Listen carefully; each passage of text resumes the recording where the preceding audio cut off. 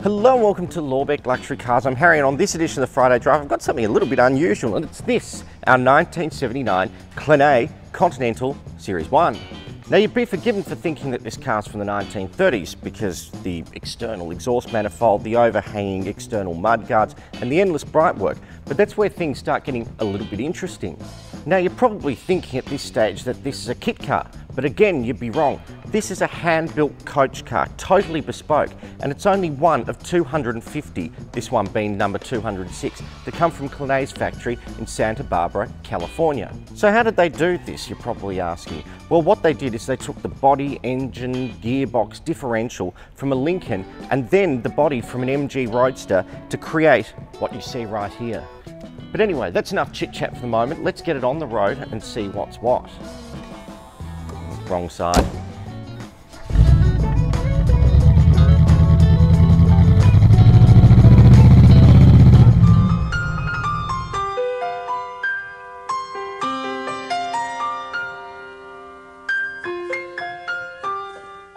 The history of the Clenet is a curious one. Founded by Frenchman Alain Clenet in 1975, who had a vision for creating cars that were art. The vehicle produced by Clenet caught the eyes of many celebrities who stumped up over 100,000 US dollars back in the 1970s. A few of the familiar names who purchased a Clenet include Julio Iglesias, Farrah Fawcett, Rod Stewart, Sylvester Stallone, King Hussein of Jordan, just to name a few. Let's say Rod Stewart or Sylvester Stallone's on your Christmas gift list. Don't get them this because they already have one. Here is a car I want to show you. Mr. Timpani, Mr. Music, please. This is a Clenet. However, though the car was recognised as both impressive to drive and look at, in 1980 production ceased and Alain Clenet filed for bankruptcy.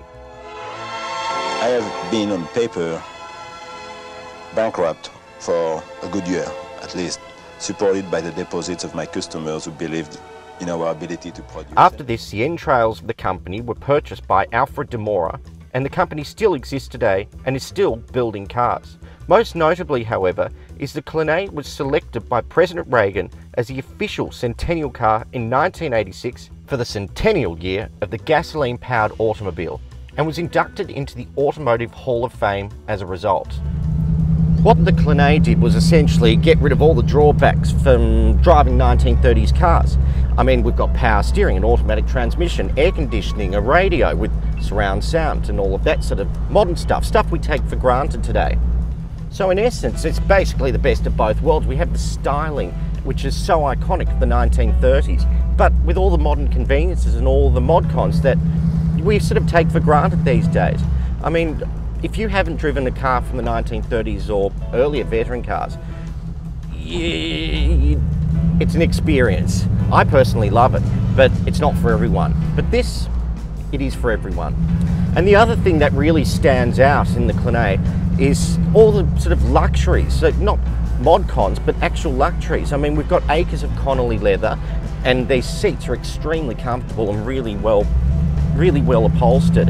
And we've got this lovely burr walnut dash, which is of course all handcrafted, lambswool carpets, and my two particular favourite things once I get around this corner here is the etched glass in the quarter vents and down here, which you can't see because it's not in frame, but I'm sure there'll be a bit of B-roll coming up, is a Waterford, yes, Waterford crystal ashtray. Now, I'm not quite sure how it's a good idea, particularly in a convertible, having an ashtray that's completely open. I mean, if you're on smoking a lungbuster or chowing down on one of Castro's wands, um, unless you're going very slow, I imagine you're going to wear most of it. I'll admit, this is a pretty ridiculous car. The styling is outrageous and the bling is so over the top, but I like it. I like the fact that there were and still are artisans out there putting their vision into reality even if it turns out to be a financial disaster almost all of the time. Both Elaine Clenet and Alfred Di Mora were complete lunatics, there's no two ways about it. But you know what? Good on them. Because creating a car like this is just, it's the work of a madman, like I said. But it's so much fun. And look, to be perfectly honest, when I first saw this car, uh, I was thought, mm, it was a bit of a joke in a funny way. It said like, who's going to want one of these? But driving it, it's completely changed my mind. It's actually a really nice car to drive. And every time you stop, which to be honest, I find a little bit annoying, it everyone has to stop and ask you a question about it. I mean, if I just pull up here, let's see how long it takes me. I'll do a U-turn, see how long it takes me to get someone talking to me.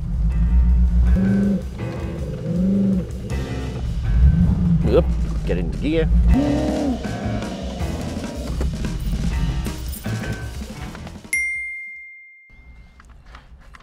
Hi there.